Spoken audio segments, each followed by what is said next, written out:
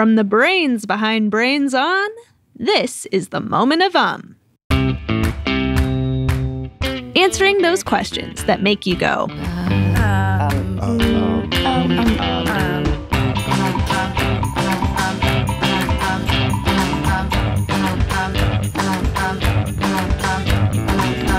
Um, um. I'm Ruby Guthrie. So today we have a truly excellent question we're trying to answer. Have you ever thought about the different colors that eggs have? Maybe you've got some chicken eggs in your fridge right now. Are they white or brown, or maybe even pale blue or light green? Some birds lay eggs that are silvery gray, lavender, or pink, and some even have speckles or splotches. Have you ever seen a robin's egg?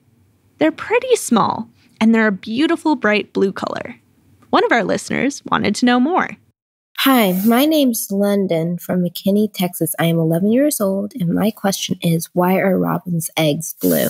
The blue on robin's eggs is caused by a pigment called biliverdin that the female paints on the eggs after the eggshell is put on inside her body.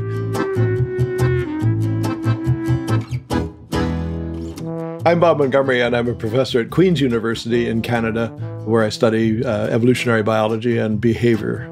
And uh, blue eggshells are actually quite rare. Only about uh, 1% of birds lay blue eggs, so it's kind of a mystery why they do that.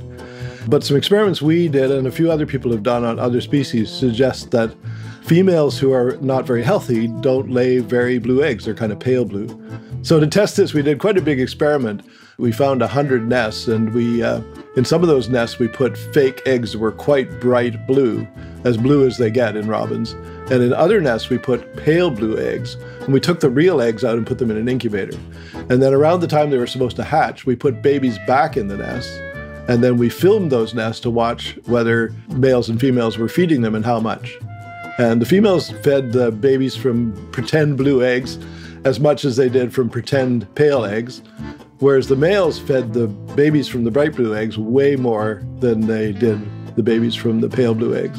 So the males were adjusting their parental care based on the color of the eggs. So males were saying, okay, I've got an unhealthy mate here, and maybe that's not going to be very good for my babies, so maybe I won't put in much effort. And uh, if you think about that, that seems kind of counterintuitive. If you have weak babies, maybe you'd want to feed them more uh, which would be true of humans.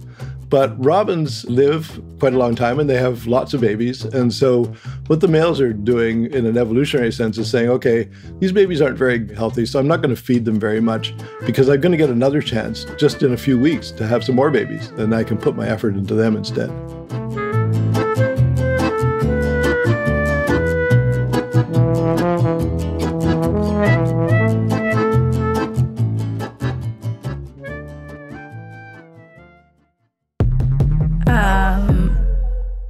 The pigment that makes robin's eggs blue, biliverdin, is the same substance that makes the blue and teal colors in moth and butterfly wings.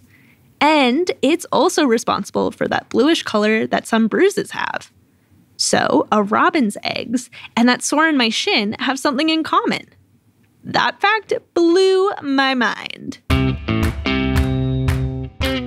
If you liked this episode, take a second to subscribe to Moment of Um wherever you listen to podcasts, or find us on YouTube. And if you just can't wait to hear more, more, more, check out the Brains On podcast, where we talk about other cool animal facts, like how do cows make milk? If you have a Moment of Um question, we would love to help you answer it. Drop us a line by going to brainson.org slash contact. Catch you later, alligator! Until then, um.